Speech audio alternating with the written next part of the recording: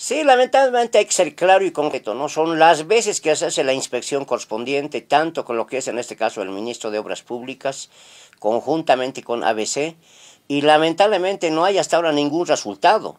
Eh, sería bueno que se haga una inspección ya con mucha seriedad y de una vez por todas se inicien las obras correspondientes, porque los hermanos compañeros transportistas tienen comprometido en este caso ya para la construcción de esa carretera, pero lamentablemente eh, las veces se va a inspeccionar y nunca tenemos un resultado tal cual en este momento está exigiendo los compañeros transportistas. Totalmente, ¿no? Hoy día van a bloquear, mañana va a estar bloqueado, entonces ¿dónde más? Lamentablemente los bloqueos eh, está perjudicando y no puede ser que las autoridades hoy día se tapen, en este caso los oídos, y no escuchen la realidad que está viviendo el compañero transportista, más que todo a ese sector del oriente.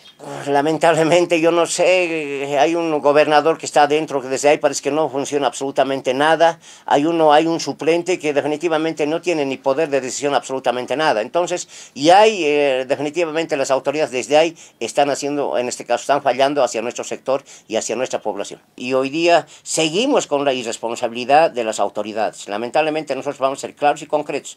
Y ha sido analizado este en, el, ampliado nacional eh, llevado en Cochabamba. Y hoy día eh, ya nosotros hemos garantizado, en este caso los operadores de tanto lo que transitan la carretera Okinawa a los troncos, y hoy día tenemos nuevamente esta situación en contraposición eh, de parte de la autoridad.